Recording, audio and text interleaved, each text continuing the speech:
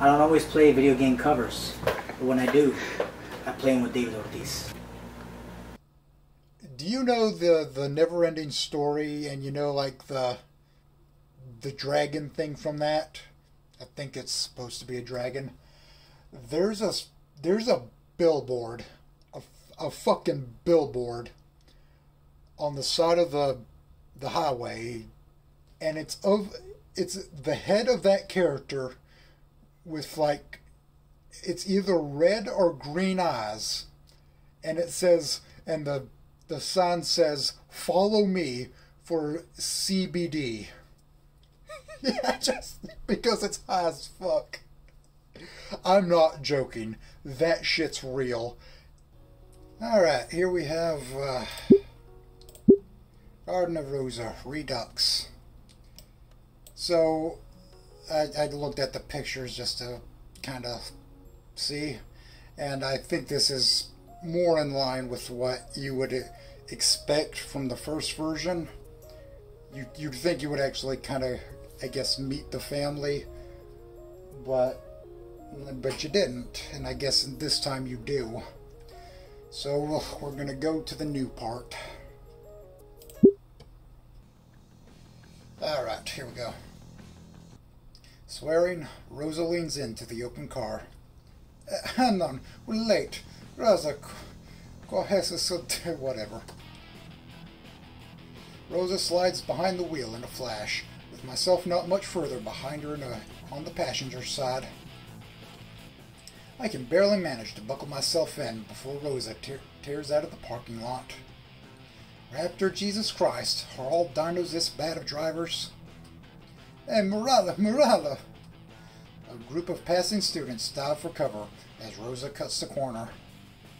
Maybe I won't have to meet her family after all, because I'll be dead in the ditch on the way there. I'm glad Rosa gave me this cross when she did. It at least gives me something to pray over as I watch my life flash before my eyes. The drive out to Rose's house is much longer than I expected. Wait. The drive out to Rose's house is long, much longer than I expected. Now it continues.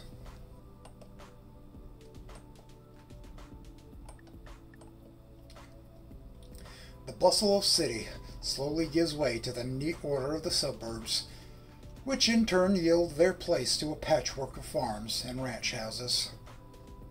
My relatively short walk to school suddenly doesn't seem so bad. Geez, I can't believe Volcadera High is the closest school Rosa can get to. It's not. Mama wanted me to go, though. She said the schools out here are, are Basura. Goddamn mumbling. That's actually the closest to us. I think Peppy went there, actually. Rosa points to a semi-dilapidated building as we drive by, its most prominent features being several smashed windows and a dire need for a new paint job. If it wasn't for the billboard out front sporting the school's name, I don't I would think Rosa was lying. It must be hard living so far away from school. Rosa turns off the main street passing onto a lonely, unmarked road. See, see, sometimes it can be a pain, especially when I'm doing, I'm late doing my hair or whatever. I peek over, watching as Rosie tussles her hair with her free hand. It's hard to believe she ever had a bad hair day in her life, with how luscious those auburn locks look. Hey, I don't, Dejala, you're making me blush. Sometimes it pays to mumble. Chuckling, I point to my impeccable chrome dome. At least that's something I never have to worry about. Giggling, Rosa leans over to elbow me in the ribs. I entertain us for a while by attempting to blind, blind passing motorists with the reflection of my head. Okay, Eventually, Rosa pulls off yet again, this time passing through a wrought iron gate and into a well-maintained gravel drive. Long long stretches of green growing. Things flank us on either side. That's how it is, man. Those that shit will hit your windshield. It's just like, Jesus Christ, I don't want scratches. This must be the place.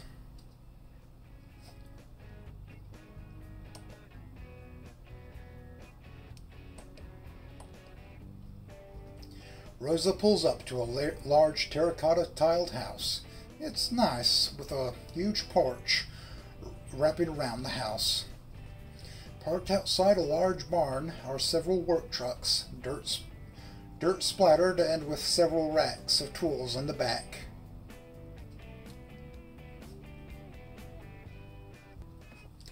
So, do you guys use all these for the farm? I point at the trucks as I climb out of Rosa's car backpack in hand. Rosa follows shortly after me, not bothering to lock up her car. What? Oh, th those. See? Well, some of them. She points to one on the far end, whose equipment racks are empty. That one there, that's Papi's truck. The truck in question does look a little nicer, newer, with a little less dirt on the outside. Your dad doesn't haul his own equipment or something? Not quite. Rosa turns to me, grinning mischievously across her car. Mama just makes Papi store his guns inside now. What little blood remains in my monitor bleached face fades. Relax, I'm just kidding. I sigh, resisting the urge to mop my forehead.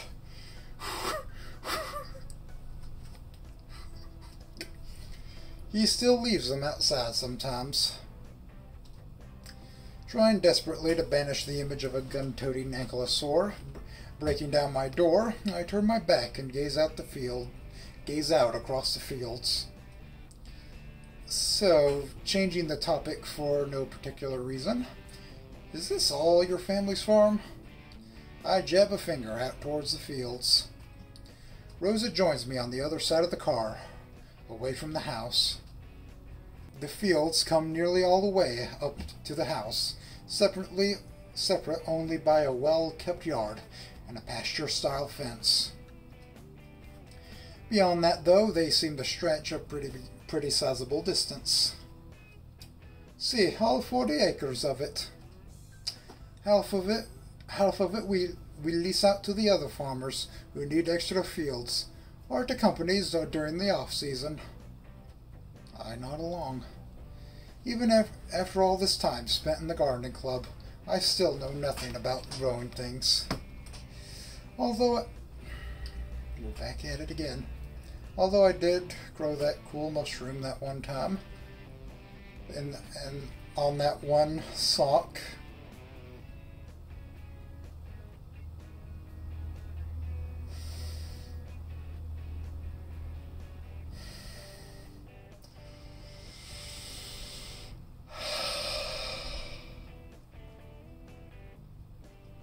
remember to wash your socks after you're done using them. You know what? Never mind.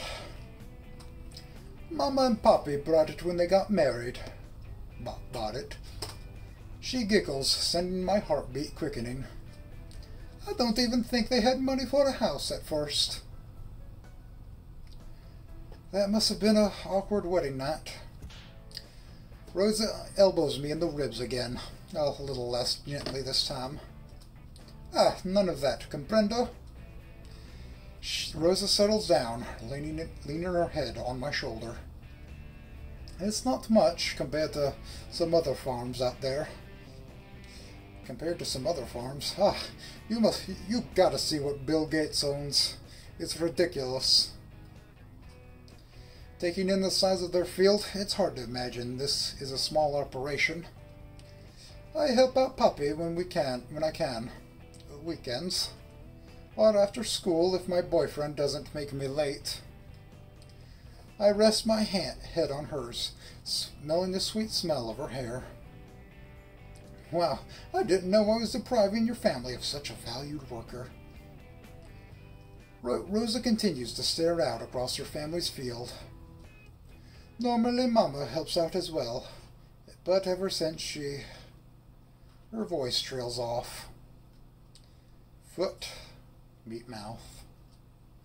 I can feel Rosa stiff against my shoulder, hear her playing idly with her keys. Hey, Rosa turns to look at me, a sad little frown creasing on her beautiful face. I didn't mean to bring up that.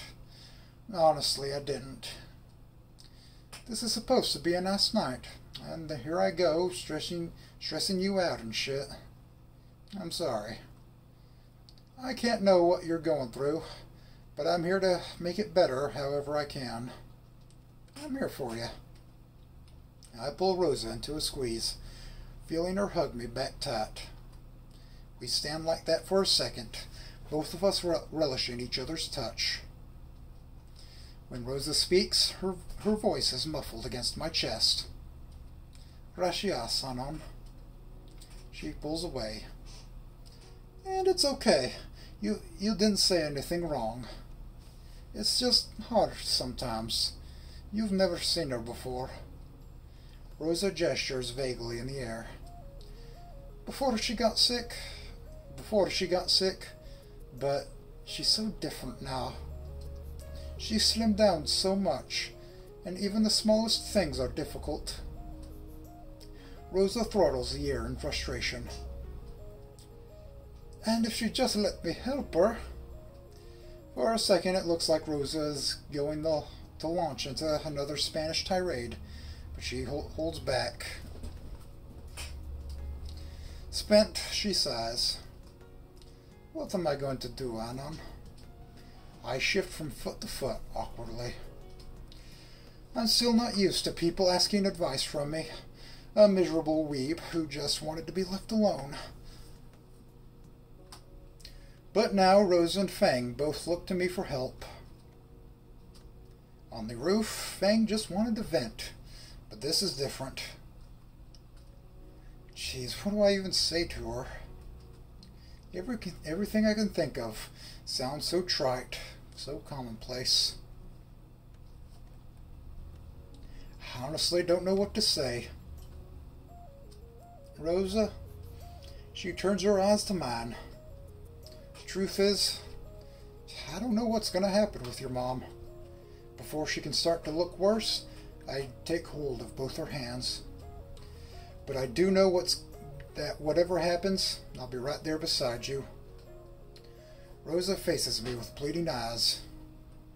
Promise. I give her hands a squeeze. Promise. My words seem to ease Rosa somewhat. The faint beginnings of a smile ease her face out of his previous frown. Good. Taking my hands in, taking my hands in hers, she leads me to the front door, where her family is waiting for me. As Rosa and I cross through the door, a thought occurs to me. The last family I visited. Hopefully, this goes a little better than that. Mama, papi, estoy en casa. As Rosa leads me through the front door, I'm hit with an immediate and powerful wave of smells. Strong odors reminiscent of Rosa's cooking per permeate the inside of the house, the spicy richness promising the best meal of my life. The strongest of which is coming from over there. Smells good, doesn't it? I look back to where Rosa is, hanging her backpack in a closet. In a closet. A brief glance of a mountain of work boots and trucker hats cement that this is a this is a working household. I'm not half as good as Mama in the kitchen. Not half as good. I recall all the delicious meals Rosa has brought me over our relationship. This promises to be a good evening then. Rosa gives me a playful hip check my, aren't you supposed to say I'm the best cook? I manage to catch myself before stumbling into a wall of pictures. Isn't honesty the best policy? Rosa rolls her eyes at the tired cliche. Not when your girlfriend's feelings are at stake. Giving her my most innocent grin, I take a look at the photographs I almost crashed into. Most of them seem to be from family photos, smi smiling ankylosaurs at various stages of life, attending huge family gatherings. Their happiness reminds me of how little my own family seems to want to do with me. Is this you? I point to a photo of a young woman in an enormous dress, the pink frilly skirt nearly doubling her size. Rosa eyes the photo for a second. Why does she look nostalgic? Actually, that's... It's me. A cold voice cuts Rosa off before she can finish. I turn slowly to face the owner, suddenly very aware of how close Rosa and I are, sta are standing.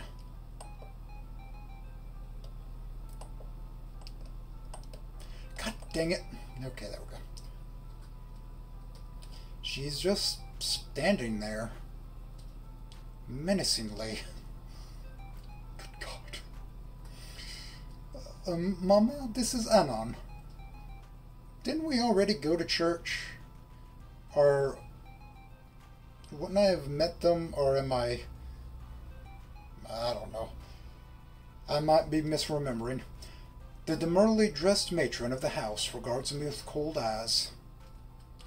How do you do, ma'am? Any second now, I feel like I'm going to slip on my own puddle of sweat. Anon, this is mi madre, Isabel. So, Rosa takes a step towards us. I have to fight the instinct to step back. With Fang's dad, it was like staring down the barrel of a gun. But this is like being measured by my own for my own coffin. You are the Nina my Rosa has fallen for. She looks me down head to toe before addressing her daughter.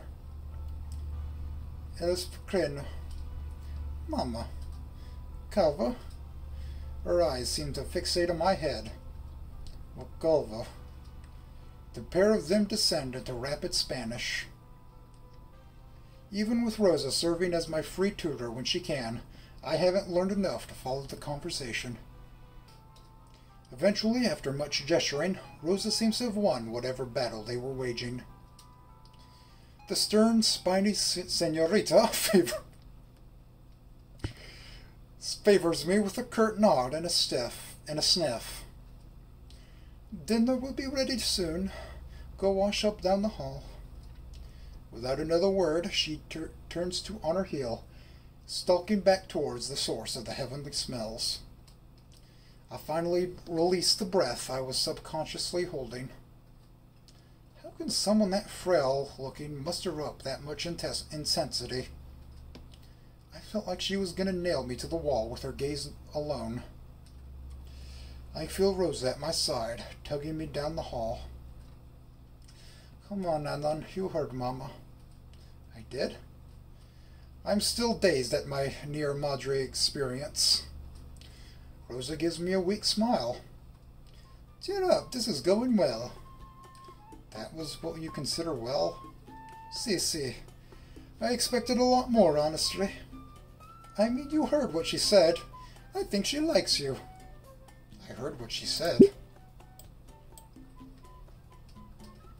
Rosa, I couldn't understand anything she said.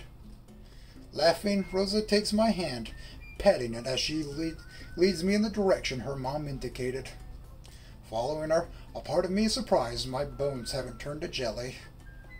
Didn't you learn anything from your Spanish lessons? No. Well, you wouldn't tell me how to swear, so... No. Wait, that was Spanish, wasn't it? It was all good. It was all good, trust me. My bullshit alarm, finally honed after years of spotting shells, be beans to go off. Rosa, what does cano monoflaco mean? If I didn't know better, I'd say she was biting back a laugh. Look, you made it through the front door, didn't you? That's not something any other boy can say. A Pyrrhic victory at best. Also, any other boy. Have there been... Granted, you are the only boy I've... Rosa's face starts to turn red. I mean, you're the first boyfriend that I've... With how she's twisting her hair, I'm surprised she hasn't pulled it off. You're the first boy I've ever been serious about. I've had other boyfriends before, but none I've wanted to bring home to me familia. Uh, now it's my turn to, for a face inferno. That's, uh, Rosa buries her face in her hands for a second. Ah, Dios mío. Anon, don't mention that to Mama. What, the other boyfriend part, or the part about being serious? She uncovers her face with an embarrassed laugh. Both. If Mama knew there were other boys, ones I didn't mention, she'd... I think I can imagine what would happen if Isabel found out Rosa had other boyfriends in the past. For some reason, a shallow grave keeps popping up. Don't worry, Rosa. Your secret is safe with me. Rosa sags with relief. I wonder if I could... But it's gonna cost you. And my cheeky grin is quickly silenced by Rosa's threatening finger. Nope, can't joke about it yet. Ah, no, no lloro por Dios.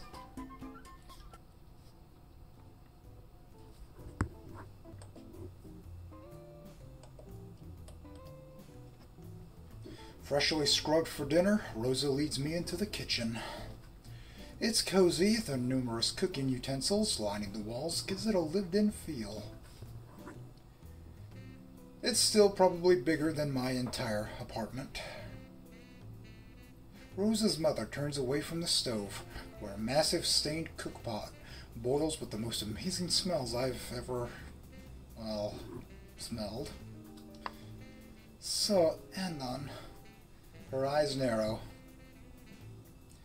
Tell me about yourself. She settles down onto a stool by the stove with a sense of familiarity. I wonder how long she spends in this room. Well, ma'am, eh, there's not much to tell. I start to relay the important parts of my life, starting with my move to Volcadera, careful to leave out the specific reason behind my move. Isabel takes it in silence, quickly studying me behind a coffee cup with two little handprints on it. There's a strength in her eyes, unmatched by her body, like she's holding herself together more through sheer will than anything else. Rosa never specified what was wrong with her mom, but now that but now that I'm not fearing for my life, I can see the signs. Isabel's hands shake slightly when she gives a, the Pab- Poblano a, a stir, her body frail, her, fa- her face creased beyond her age. I can't imagine what Rosa must be going through, seeing her mother being reduced like this. And well, that's how your daughter and I met. And how you kissed. She wields the word like a knife. Well, uh, Mama. Rosa brandishes the same finger she used on me, blushing furiously as she does so. As Eso bravado, you and Poppy said you'd be nice. Isabel relents somewhat, a sly smile on her face. Santa Rosa, but you didn't think I wouldn't embarrass you in front of your friend, did you? She catches herself slightly, the word boy noticeably, noticeably, noticeably ab absent. Rosa begins sliding around the kitchen, summoning plates and silverware from the multitude of cabinets. Anon, you'll have to forgive Mama.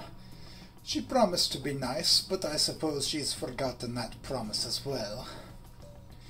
The older woman flinches slightly.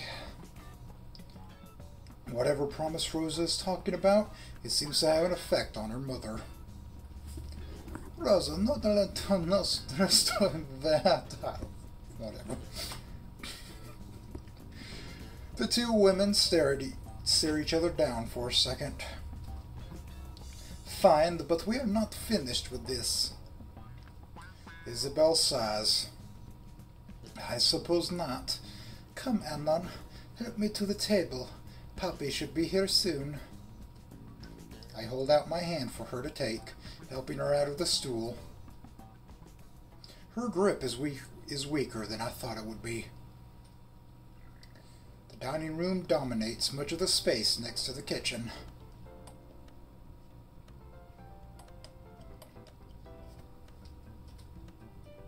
A massive table extends almost from wall to wall, surrounded by curio cabinets and family portraits.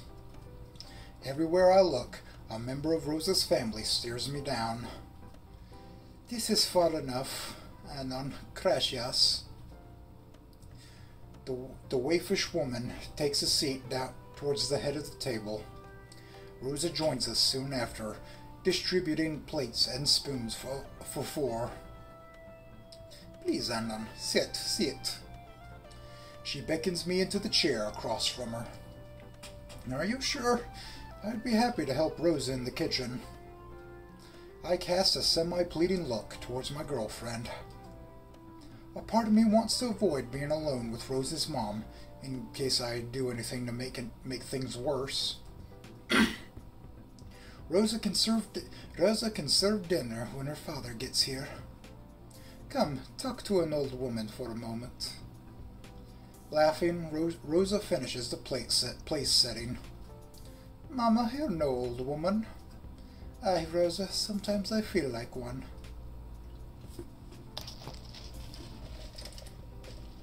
As I take a seat across from her, I, I can see what she means.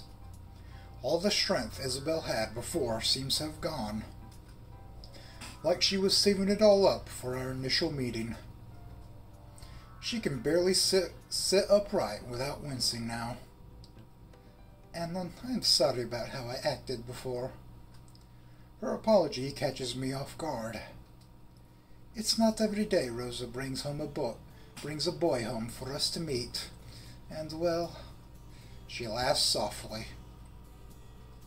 I, I acted just like me propia madre.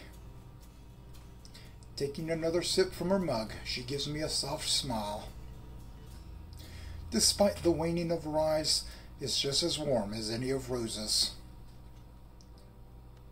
Please, you were telling me more about you and Rosa. How, how have you two, two been getting along with the garden?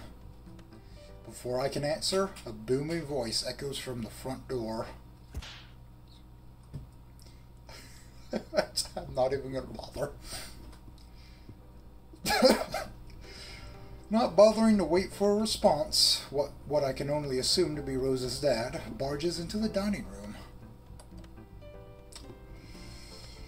Uh, it's like watching an avalanche of scales descend towards me in slow motion.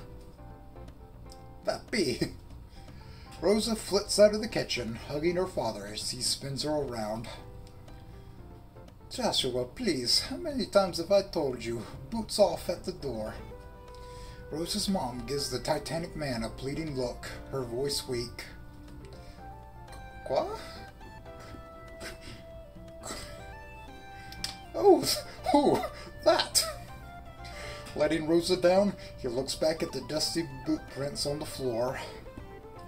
Holding both hands to his gut as if to contain it, Joshua lets out a booming laugh. Sorry, dear. What's the good of having a broom if we don't use it? He turns to me, still holding his stomach with one hand. Ah, you must be him. Rose intro introduces me from the kitchen as I stand, hand outstretched. Gonna shake my hand off. Oh, God. puppy, this is Anon, my boyfriend. Gives me a cute smile while she attends to the dinner being cooked. Huh? Anon, huh? I've heard a lot about you, boy. Come here, come here. Joshua ignores my outstretched hand. Oh, nice to meet you.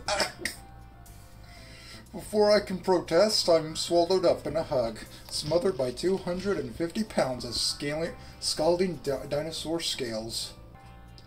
I can feel the life slowly being squeezed out of me. Josh, let the poor boy go. He's had enough parental trouble already. Free from my fleshy prison, I can finally breathe again. Isabel, I forgive you for anything you may have said. Ah, sorry, sorry. Just so good to see you, Anon.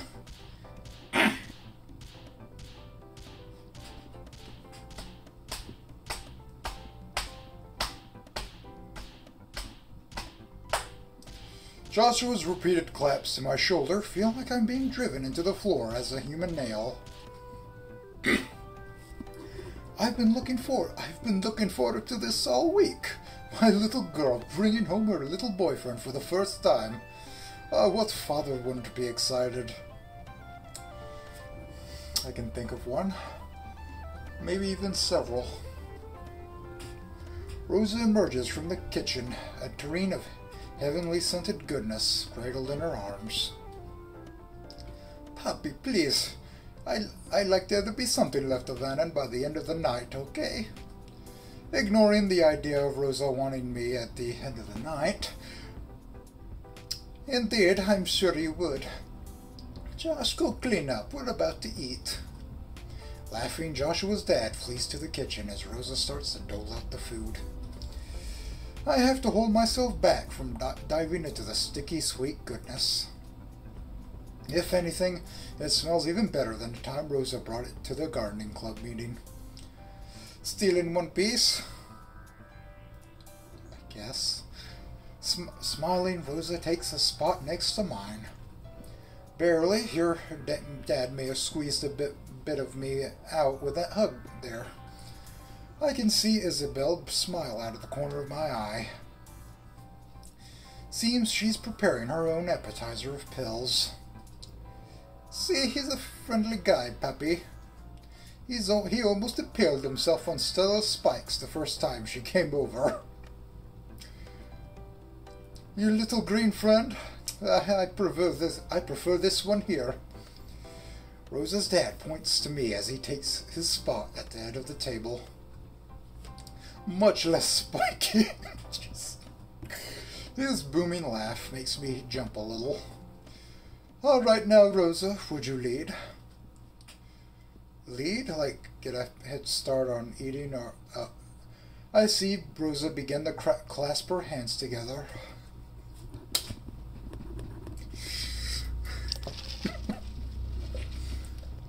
oh, yeah, right. The Christ cuckery.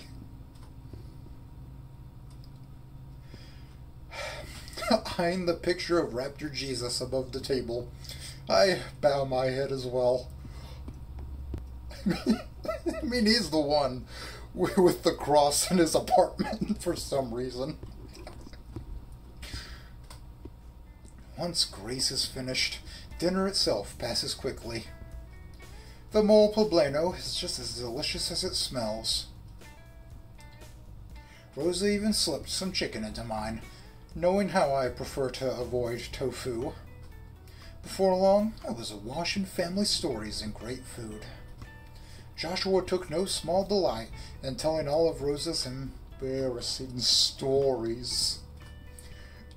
like how she used to have Rosa adventures as Rosa the Explorer. Uh, complete with a purple backpack, backpack she made herself. It's really weird seeing a realistic boots you know what I mean? And a real and a realistic swiper.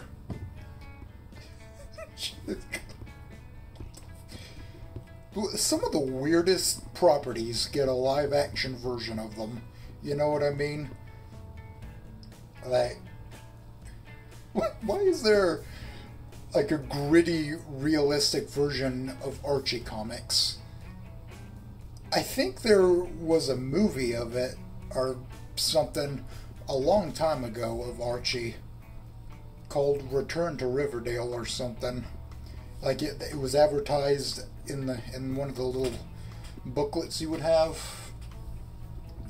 Uh, uh, complete with a purple backpack she made herself. Man, I am so going to hold that over her head.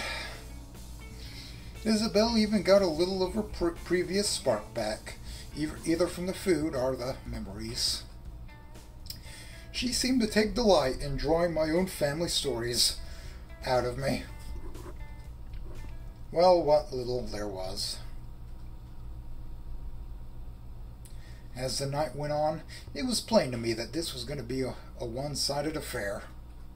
Rosa's parents would regale me with happy tales of their wonderful daughter and I would try to ignore the fact that my parents didn't want a single thing to do with me anymore.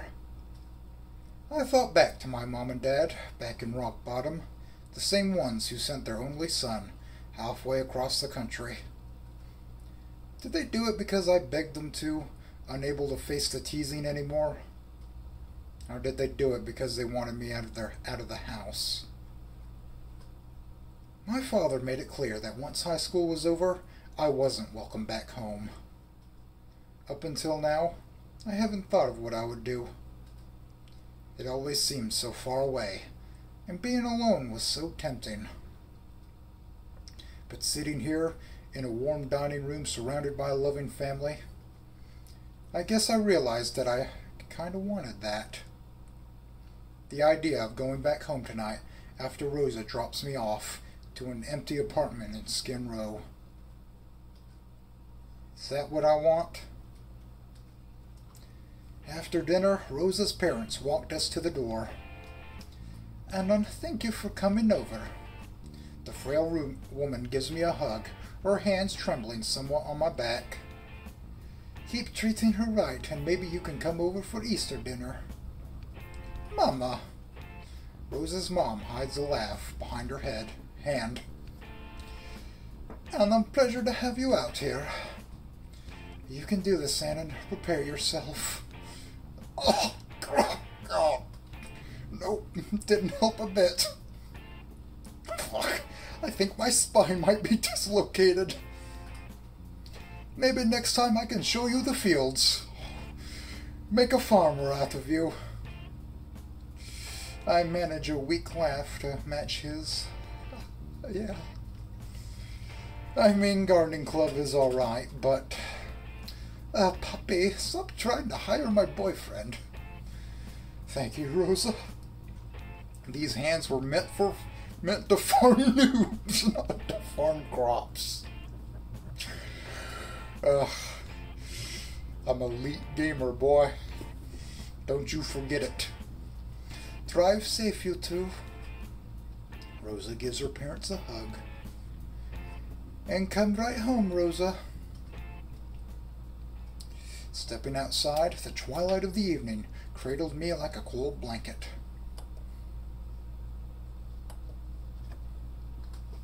I hesitated a moment, listening to the crickets chirp. It was nice to hear them again, so far from the city. Normal, the, the only light. Normally, the only light, nightlife I hear are the sirens and screams of drug addicts. Out here it was more like home, like rock bottom. Since when did I think of rock bottom as home? And I just realized why it's called rock bottom. Gotta just.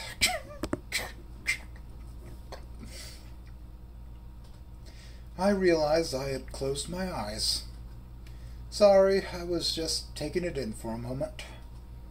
Rosa entwined her arm in mine as we walked to her car. I could feel her sigh against my body.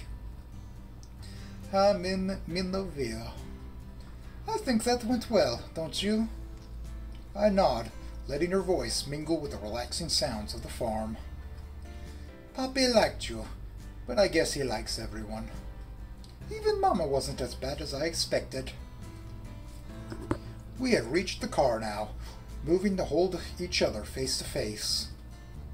You expected worse? Mm, maybe. Rosa gives me a coy smile. You won her over in the end, though, and that's all that matters. She wasn't kidding about Easter, though. Our faces were almost touching at this point.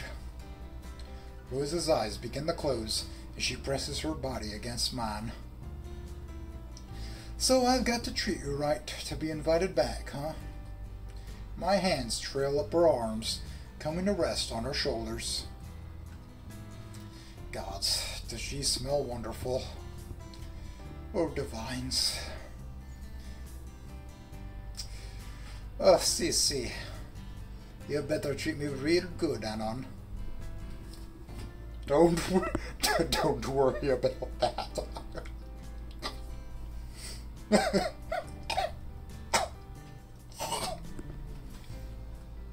Her lips parted as she reached up to me, my own mouth coming down to meet her. So treat me well and kiss me, mi, mi amor. Rose's arms creep up around my neck, pulling me even closer to her. It was all the excuse I needed.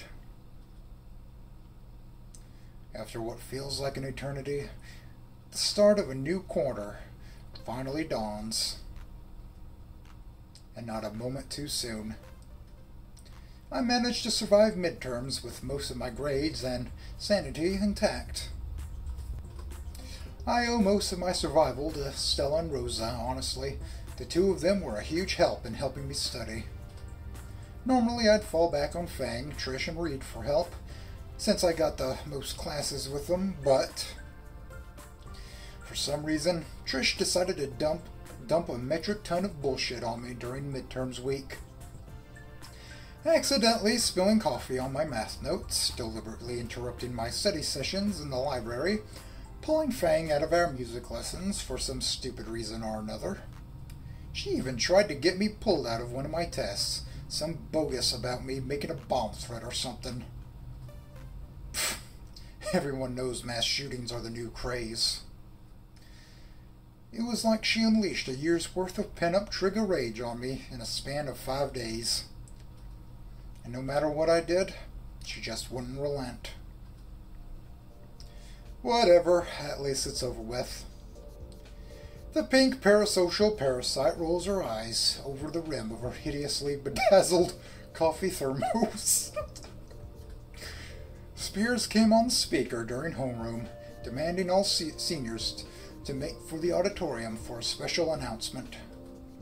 Naomi took the opportunity to walk with me, but I know what she really wants. Anon, you just gotta ignore Trish. Don't let her get to you. Like you've been doing this whole year? Fuck's sake. Maybe you can take a take get Fang and go somewhere or something. I don't know. This again. Ever since the concert at Moe's, Naomi seems convinced that Fang and I, and I belong together.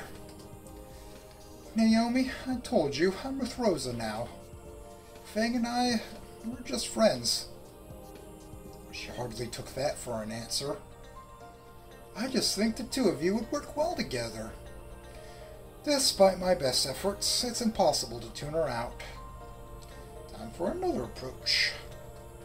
Look, I appreciate the help, Naomi, but I'm fine. Besides, shouldn't you be focused on your own boyfriend? Done anything fun with Naser lately?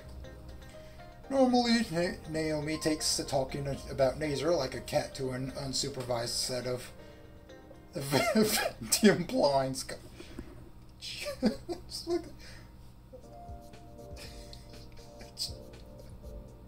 you, you come home and the blinds are just chewed up from your dog. You know what I mean? It's like, what happened? Just, just chewed up just a little bit, enough to be noticeable.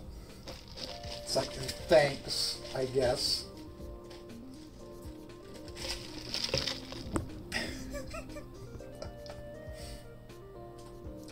But today, I am focused on Naser Anon. What does that mean? You really don't get it, do you? No. Naomi fixes me with her patented bitchy look before stomping away in disgust. Well, whatever. I don't need her prying into my relationships. I'm happy with Rosa, and Fang is, well... Well, I'm sure she's fine. I slip into the auditorium, scanning the rows of students. She should already be here. And none, Kui. Rosa and Stella found a spot in the middle row. Further down, I catch a glimpse of a white faint-winged figure near the front row. I wonder what Fang's doing so close to the stage. Hey Rosa, hey Stella. I slide into the empty seat next to Rosa.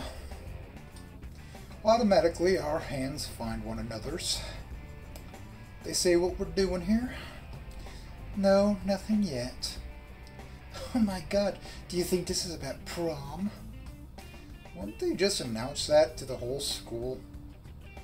Besides, isn't it a bit too early to be worrying about that? Oh, is that so? Rosa jabs a finger into my chest, smiling. What's not looking forward to prom, Minervia? I shift awkwardly into my seat. I've never been to a school dance before. My reputation at rock bottom pre precluded asking anyone out. But now that I'm with Rosa, I mean, I, I guess. you guess. Rosa lays a hand over her forehead dramatically. The night of getting dressed up, dancing. Rosa sighs luxuriously. Ah, esta romantica. When Rosa puts it that way, maybe it won't be so bad. My mind drifts to thoughts of Rosa resplendent, resplendent, resplendently dressed, her and I standing cheek to cheek on the dance floor. Geez, Anon, I didn't think you could get this red. Before I can embarrass myself further, Spears takes to the stage. Rosa and I, still holding hands, just barely managed to cover our ears in time. Listen up! I'm sure you know by now, but graduation's coming up quick. It's my job to make sure you are prepared for what that entails. But first, your student council has prepared a slideshow to start us off. the behemoth of a man nods towards Naomi as she slides out from behind the stage. Take it away! Naomi, not blessed with Spears' titanic voice, carries a wireless microphone with her. I check out the second she I check out the second she launches into her heavily rehearsed speech.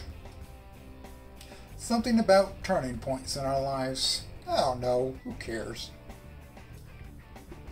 Rose and Stella seem to be paying attention at least. I was wondering, I remember my brief glimpse of Fang from before. Sure enough, she's right down in the front row. Looks like Reed's operating the projector.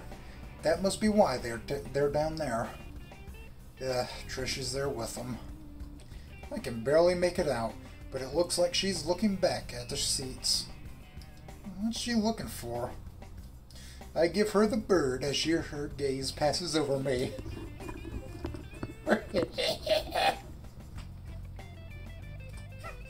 but I hope that's what you wanted, you stupid trigger. the double finger defense. A sharp gasp from Rosa turns my attention away from Trish. What? I was just joking around. Wait, she's not even looking at me. What's so interesting about Naomi's... What the fuck? What the fuck is that? How is this happening? Trash!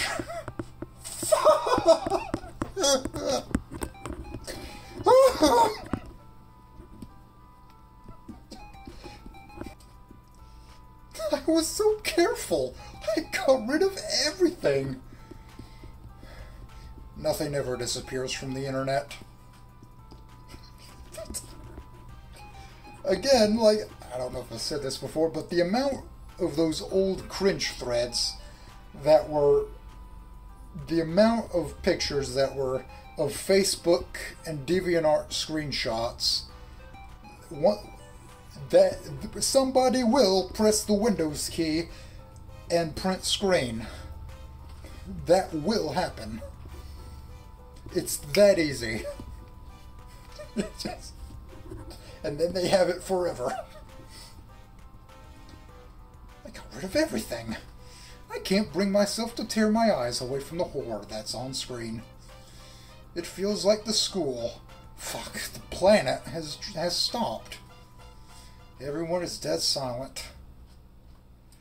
And everyone is looking at me. Bro, look at the top of his head.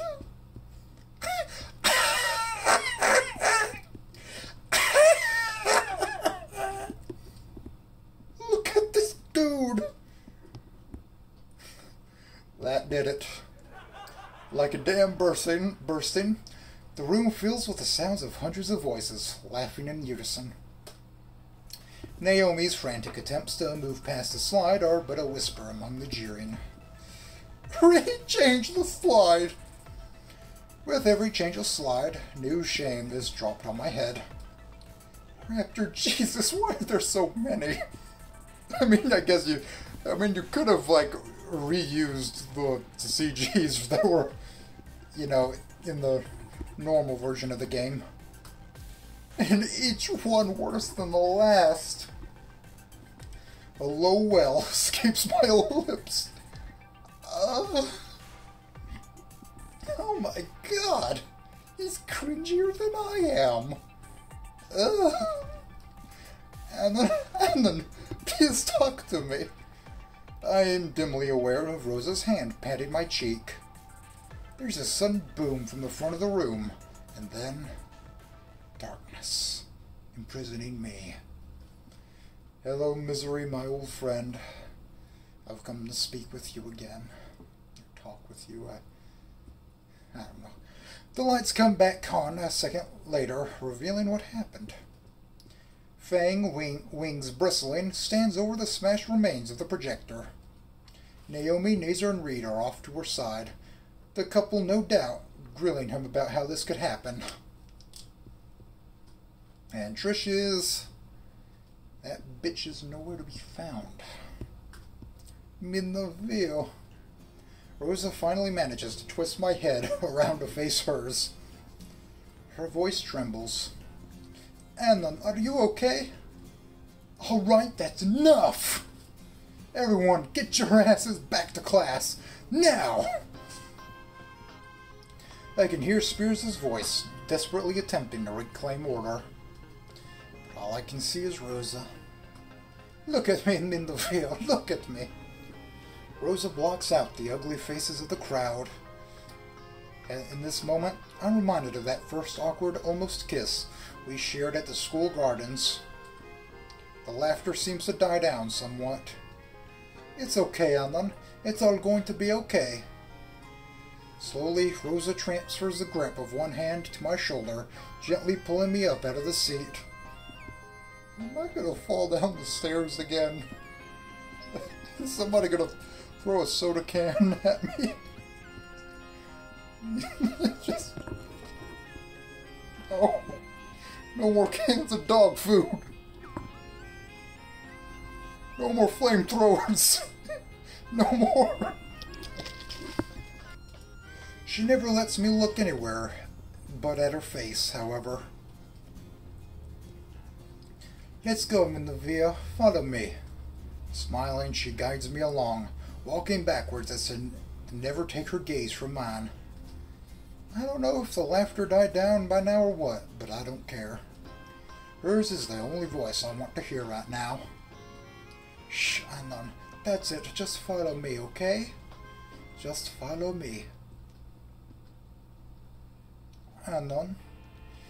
Outside, Rosa cradles me to her chest. I think we're outside Spears' office. Are you going to be alright, Minovia? I can barely hear the words. Sometimes in life, you just do this. Uh, that's just the pose you take while you're just standing in a Walmart or something. And you're just not sure what to do anymore. I can barely hear her words. Honestly, my mind is still fuming about what just happened. What Trish. Trish. That bitch! Don't listen to what they were saying, Anon. You don't need them. All that hostility during midterms, and now this. Okay, Anon, Anon, please listen to me. Why this? Why now? What the fuck did Trish think she was doing? There are people who care about you here, at school. People like me. People like Fang, your friends. I swear to Raptor Jesus, when I find Trish, I'm gonna make her... uh, look like a fucking joke. So don't worry about what other people say, An okay, Anon? All that matters are the people who care about you. You've got to learn how to forgive. The sound of footsteps snapped me out of my daze. Rosa lets me pull away from her to face the new arrivals. It feels like her hand on my back is the only thing keeping me upright, though. Fang, what are you doing here? Fang's voice is quiet, her eyes downcast. A part of me wonders how much of me me buried in Rosa's cleavage she saw. Just oh, Rosa, it was awful. It was just awful. Anon, you gonna be alright? I mumble something incoherent. That's me every day. Uh, we were worried about you. We? I had noticed Reed slinking up behind her, tail dragging across the ground. It's gonna get dirty with dust and shit. Ugh, it's gonna be hard to clean it out with the feathers and. Ugh. Had to skip had to skip class, bro. Had to see how you were doing. I'm doing pretty shit, Reed. In case you missed it, I just got fucking docs in front of the whole entire school. Wait a minute. My thoughts focus themselves away from the best way. My thoughts focus themselves away from the best way to dispose dispose dispo, uh, of a small dust busty dino for a of a small busty dino for a second. You.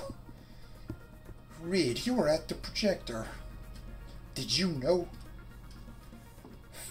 Fang and Rosa both gasp. Reed? Reed. Lo por Dios. Fang takes a step away from Reed, Reed, possibly to distance herself from Rosa's wrath. Watching Rosa level that finger in his direction, though, I don't think Fang moved far away enough away. What did you do?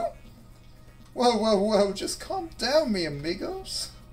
Hear me out, okay? Rosa flaring like a bull, Rosa halts her attack. She protect, but she also attack.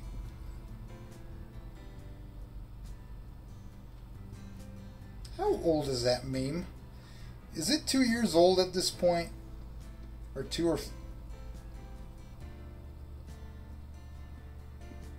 I don't like how old new memes are becoming. You know what I mean? Like, wasn't that yesterday? No, it was a couple years ago, dude.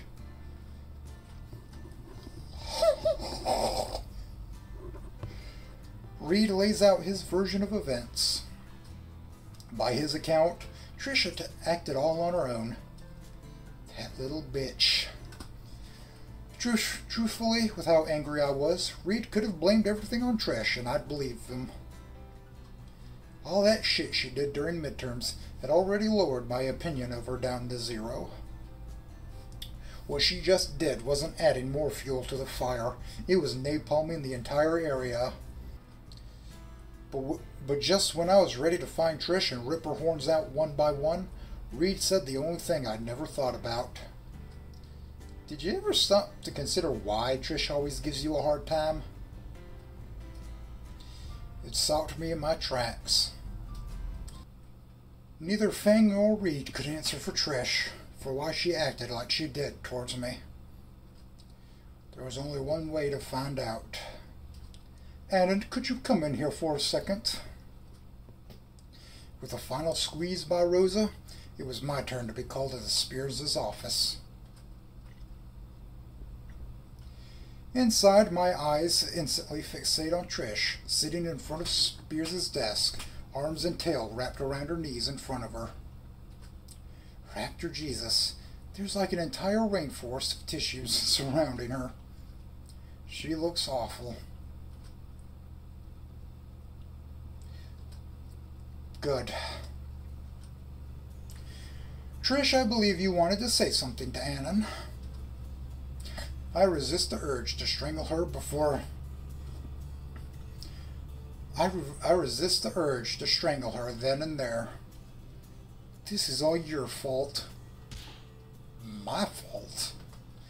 If you hadn't come here and forced your way into, into our group, I can feel an angry bile starting to rise. If this bitch doesn't shut the fuck up then Fang never would have developed feelings for you. The words erupt from Trish like a bursting dam. All my anger that had been building up up until now vanishes. vanishes. Fang has feelings for me? Can't be. Can it? What she said before the show, wanting to study before midterms the way her hands would brush against mine in science or music. A thousand other small, furtive things she, she did, each a small reflection of the things Rosa and I shared. Fang likes me. Could I really have been so blind? Or did I just not want to see it? You ripped my best friend away from me, and what do you do? You go around with some other girl, rubbing it in their face. It's like you don't even care about them. But I care. Trish descends into a blubbering mess, hiding her head in her hands as fresh tears spill onto her lap. Anon? Spears' surprisingly gentle voice pulls me away from Trish's sobs. Is there anything you'd like to say to Trish? Trish raises her he head enough to peer up at me over crossed arms. Maybe Rosa was right. Maybe I have, maybe I do have to learn to forgive. Trish, I didn't mean to drive a wedge into your group, and I didn't mean to be such a dick to you. Her eyes widen in surprise. But what Fang feels about me? Man, this would be a lot easier without Spears here. I can't control what she feels any more than you can. I never meant to hurt Fang by getting with Rosa. Believe me, I just wanted to be Fang's friend. But do what you did, even for someone you care about. That's fucked up. Trish withdraws into her little ball some more. I'm sorry you felt the need to protect Fang's feelings like this. And maybe one day I can forgive you for what you did. But not right now, okay? Trish stares at me like she can't believe what I just said. And frankly, I can hardly believe it either. Spears intercedes at this point, wrapping a fatherly arm around Trish's shoulder. Very mature of you, Anon. You're a long way from where you started. Feel free to take the rest of the day off. With one final look back at Trish, I head back out into the hall. Well, that's one crazy chick dealt with. that's one crazy chick dealt with. Now I just hope I don't have to deal with two more. Back outside, the mood is tense. Fang, Fang and Reed occupy one side of the door, their whispered conversation halting as I emerged. Rosa stands on the other side, her expression carefully neutral. Looking at her, I can't remember the last time she looked this guarded. Shit, they must have heard everything. Yo, and you doing okay, bro? Honestly, I don't know. But I do know there's no way I'm gonna go back to class today. Fang looks, looks like she's about to say something, but stops. There's a pain in her eyes as she looks from the office door, then back to me. I, um...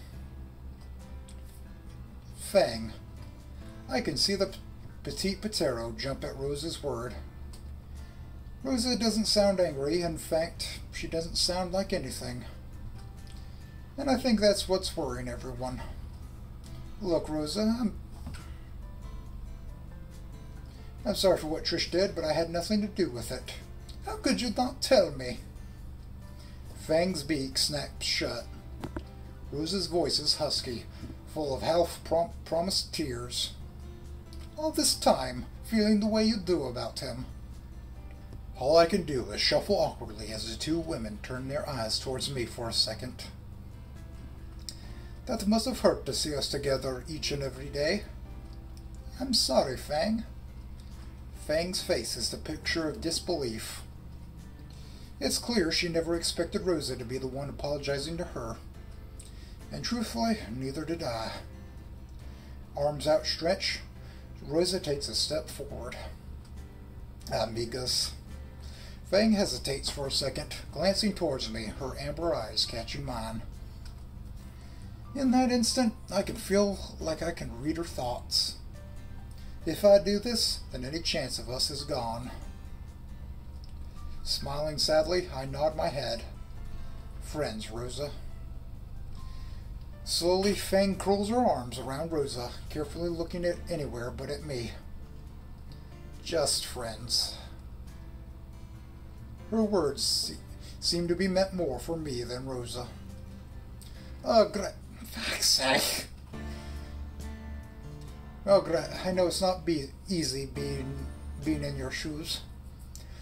Then, just then, the door to Spears' office opens, disgorging a dejected and tear-stained Trish. You! Snarling, Rosa's half lunges towards her. A string of Spanish expletives flooding out of her mouth. Hey, I recognize some of these words.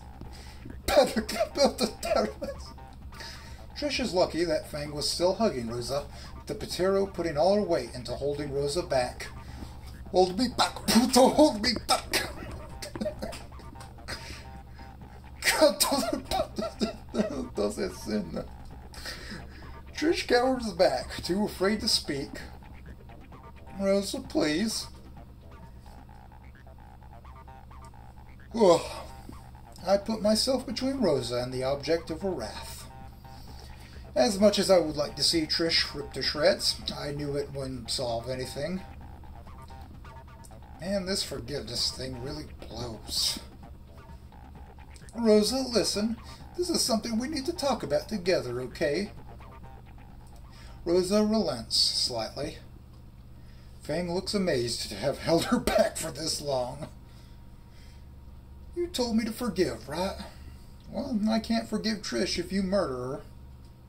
I can hear Trish whimper behind me. Fine. Rosa Fang slowly lowers her arms, careful to keep them close enough in case Rosa attacks again. Straightening her dress, Rosa gives me a cold glance.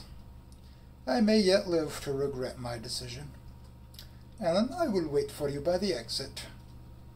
Shooting daggers at Trish, Rosa strolls off. For a moment, the four of us just stand in silence, all eyes on the tri tiny Triceratops.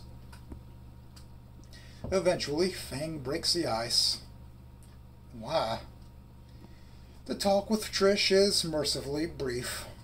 Letting it spill about Fang's feelings towards me did not make Trish popular with her longtime friend. Fang seemed more angry at what Trish did in the auditorium than about Trish letting it slip about how Fang felt about me. Trish mostly just stood there and took it. I think she knew she messed up. She looked ready to start bawling again when Fang said she was going to take a break from the band. Reed stayed behind to comfort Trish and Fang as I left. As Fang and I left, neither of us wanting to stick around for obvious reasons. As I turned my back on her, I couldn't help but think that Trish got everything she wanted. Romantically, Fang and I were finished. And as much as it hurt to admit it, I think it's for the best.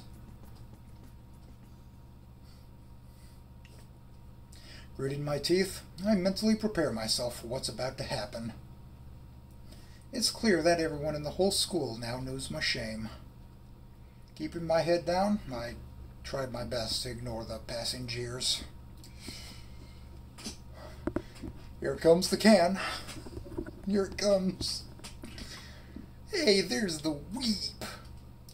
God, he's pathetic. Alone on a Friday night. Hey, Anon, what's your power level? あの姿あの輝きあれがあれこそが完全なる身勝手の極意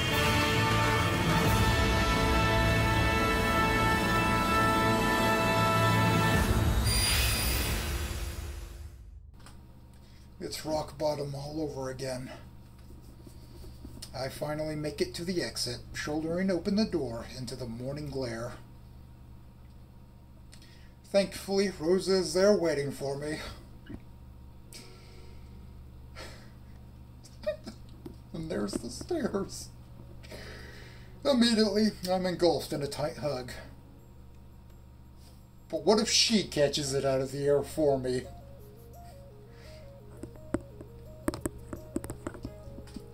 And just ignore those guys, okay? The scent of her hair lingers as she lets me go. You want me to take you home? And linger alone in my empty apartment? No, thank you. No, spank you. Actually, maybe we could take a walk or something. I, I can predict things. Actually, maybe we could take a walk or something. I just don't want to be alone right now. Hey, loser, think fast. What the fuck is that? Oh, she couldn't catch it.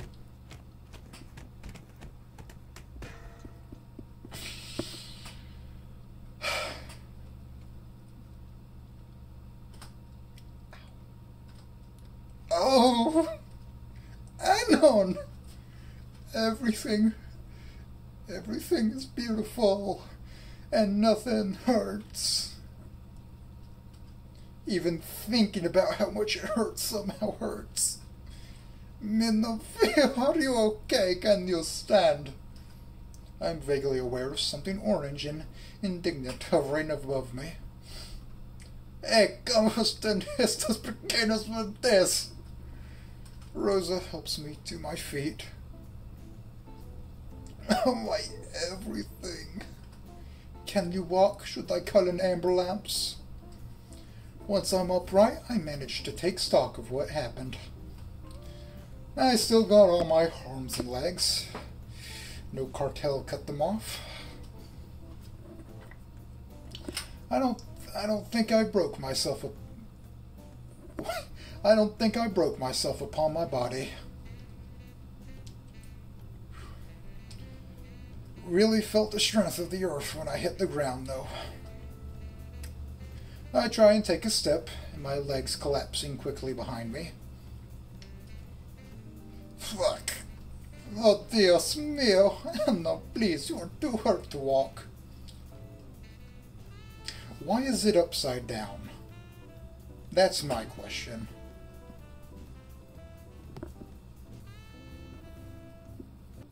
Please, you're too hard to walk. Here, here, let me help you over here. Uh, Rosa helps me to a nearby bench. You wait here while I bring the car around, okay? I nod, wishing I hadn't, hadn't as a new pain shoots down my spine. Just a minute, see? Don't move. God, I...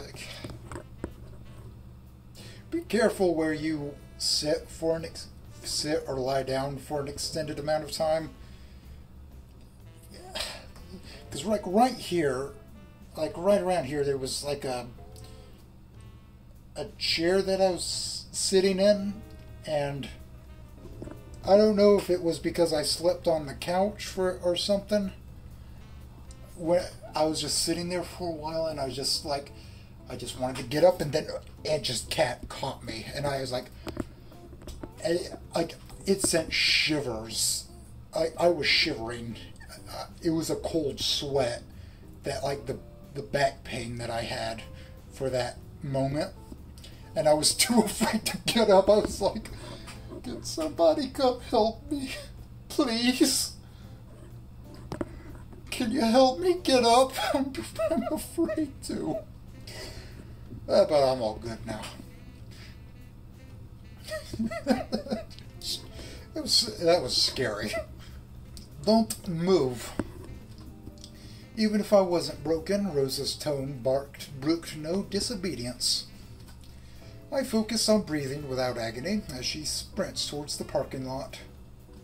Alone with my thoughts, my mind keeps snapping back to Fang. How long has she had these feelings? The concert at Moe's? Before?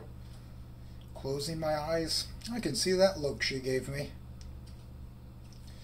The look that was look the look the one that was looking for me to give her any excuse to not accept Rosa's friendship. Fuck, I'd hope I didn't ruin our own friendship because of this.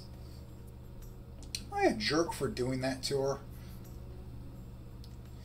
No, I couldn't have kept le leading her on like that. She deserves the truth. That Rose and I are a couple, and nothing is going to come between that. A sudden sneeze awakens fresh pain I never thought possible.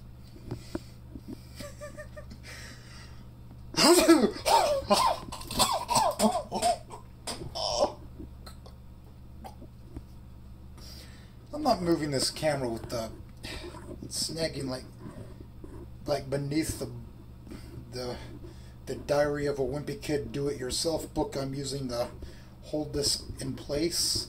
Like it's it gets underneath it as I move. You know what I mean? And I'm afraid I'll move it and fuck my camera up. Okay, maybe my death might become between us. With Rosa's help, I'm barely able to make it into the passenger seat of her car. Hey, okay, Anon, where to? The hospital, please. If you please. What? I mean, where do you live? I hadn't even thought of where to go. The, my idea of just walking around town until sunset seems like a bad idea now. But going back to my apartment, I can't let Rosa see how I live. How about we just drive to the nearest address now? 237 South, South St. Ham Hammond Street. Fuck. The words are out of my mouth before I knew it. Rosa chews her lip, hand hesitating on the keys. I knew it. I knew I shouldn't have told her. She knows as well as I do what kind of neighborhood that is. Look, Rosa, it's not as bad as everyone, everyone thinks. There hasn't even been a stabbing in a couple days. Stabbing? No, no, no, crap. Shaking her head, Rosa keys the ignition on, not carrying the check before speeding off the curb. I am taking you to my house. Oh, thank God. No arguing. Rosa's tone knocks my feeble protests away like a ten pound ball right down the center of the lane. I keep silent after that, no sense arguing with her when she gets in this mood. And you know, talking and breathing feels like my insides are on fire. I wonder which is worse The rest of the trip out to Rosa's house passes in relative silence. Save for my involuntary curses at each bump in the road and Rosa's muttered apologies, I don't think either of us said anything. Until. Hey, Rosa? Mer- mercifully, Rosa has had slowed down the car. Slowed the car down as she hit the gravel road of her family's farm. Qua? Are you, uh. Your parents home today? Rosa gives me a quick smile. Nope, it's just us, me and Livia. And she sounds just as nervous as I am. As Rosa promised, the house is quiet as we shuffle through the front door. The lack of delicious smells feels wrong somehow. Rosa, you didn't need to carry me. Shush. Rosa dumps our backpacks by the door. Come, let's get you lying down. Rosa, Rosa, slowly, Rosa leads me down the hall, my heart rate quickening.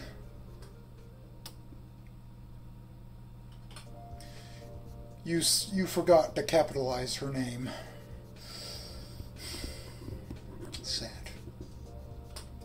It's like someone hitting a speed bag inside my chest. Rosa's home isn't what I expected. Well, room, I should say. There's her panties and bras everywhere. Why are women so messy? There's these little pin things everywhere. Why? You won't be able to find them and you'll have to buy more. Rosa's room isn't what I expected. With how beautiful and caring Rosa is, it's a, shock, it's a shock to see her room is as messy as mine. Her desk is a mess of papers, some school assignments, others look like plant ma magazines of some type. Photos dot the wall above the desk, framed family photos hanging side by side with pol Polaroid Polaroid snapshots of her and Stella. The bed is a mess of clothes, a mountain of which Rosa is quickly evacuating with reckless abandon. I don't know how you can stand that.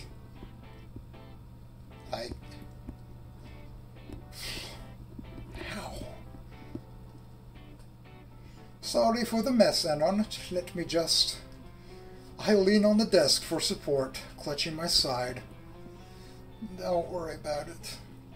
You should see my room. Clothes and cornflakes everywhere.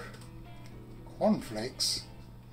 I carefully look at anything other than the bra that Rosa is hanging up. Oh, that's uh, oh, that's that's a big bra right there. Oh my god.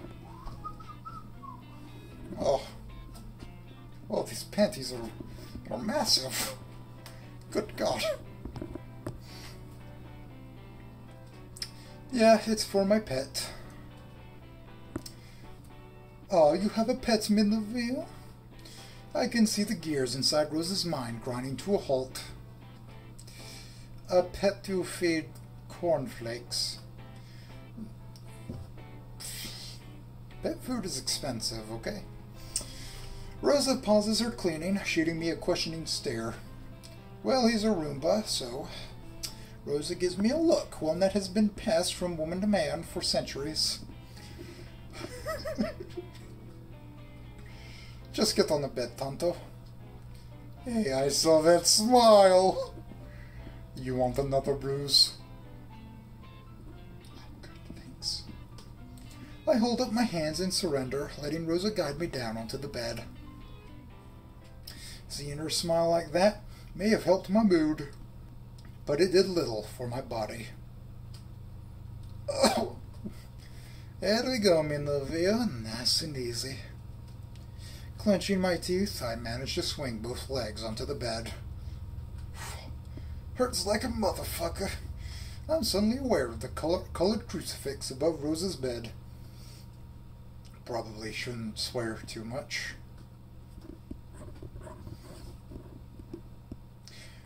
Wait, haven't I been haven't I been wearing the crucifix Rosa gave me this whole time? comfortable compared to my bed back in Skid Row. My cycle line in a cloud. Yeah, thanks. Just relax, I'll go get the medicine kit. Rosa gives my hand a squeeze before heading back down the hall, leaving me alone. I like the detail that you actually kind of put them in the photo frames, like kind of properly, right here. In her room. Faint alarms. In my girlfriend's room. On her bed. With no parents in the house. Man, been a while since I've had a five alarm spaghetti alert go, go off. Ugh. What does that smell of pasta? Sacrilege. Sac sacrilege. No, no Italian food in this household, let me tell you. Okay, I think I've got enough stuff. Rosa re-enters the room, arms full of gauze gauze, creams, and various poultices. Some of this stuff I think Papi uses on his scales, so we probably don't need those. A bottle sporting a picture of a smiling dino with a Spanish catchphrase is discarded on the desk. I'm imagining a dinosaur in like that that bug outfit, you know what I mean? Or or like with the the the show where the old uh, the elderly people play uh, little kids. I'm just imagining that now as dinosaurs. All right, Anon, shirt off. No way in hell am I letting Rosa see my skeleton bod.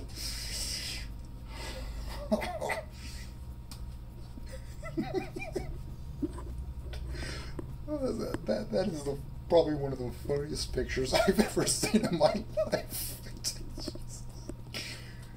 Can I just pull it up a bit? Take it off. Come, hazlo hora. Okay, okay. Gritting my teeth, I managed to pull my shirt up over my head. My chest looks like a checkerboard of splotchy bruises. Oh, my poor chico. Rosa traces the outline of one bruise gently, causing me to flinch. Sorry, did I hurt you? Oh, it's it's just I can feel my face start to redden.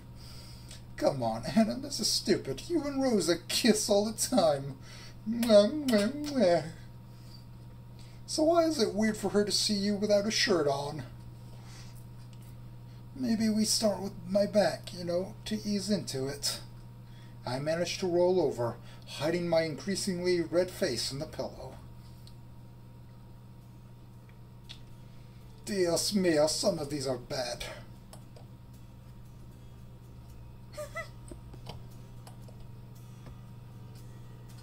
I can hear a squirting sound from behind me. Try and relax, Anon. Tenderly, Rosa starts rubbing the mystery ointment into my bruises. I grit my teeth at first, but soon she finds the right amount of pressure to, to apply. Better. Mm-hmm. The balm begins to warm, slowly draining the aches and pains out of my screaming muscles. Relaxing, I close my eyes, getting lost in the hypnotic repetition of Rosa's fingers. Feels nice. Is that singing?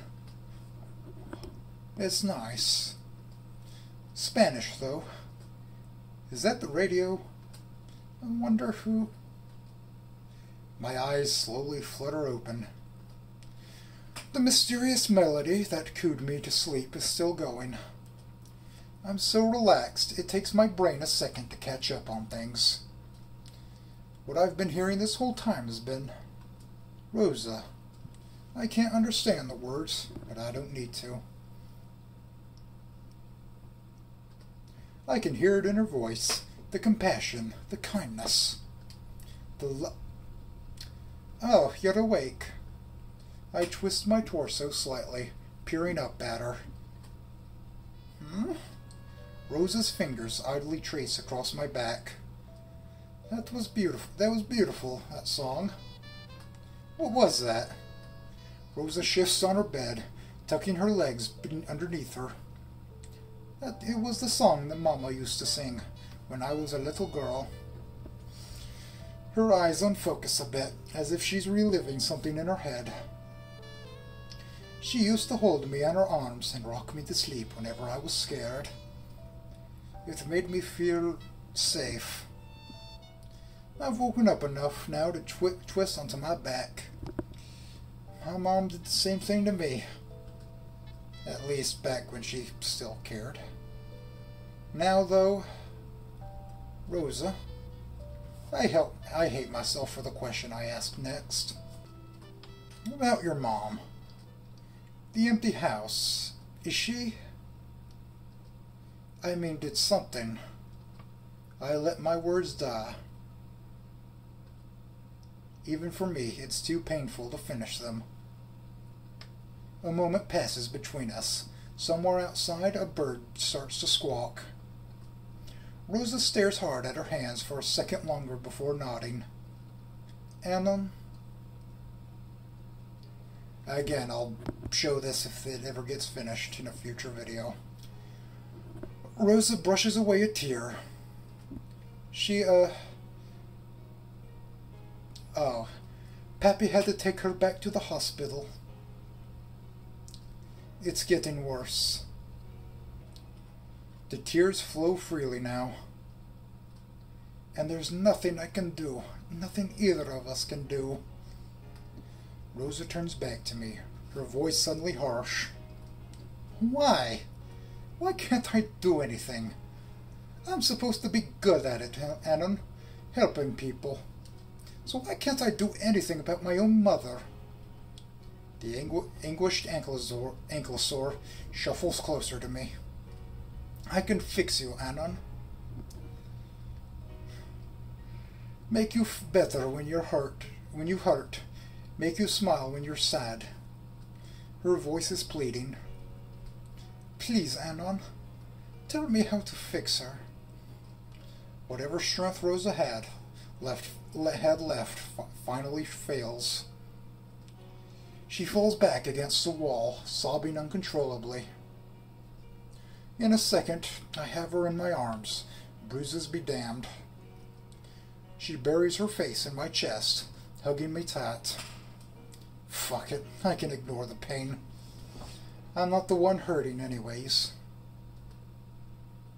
Rosa, I guess there's going to be a part three.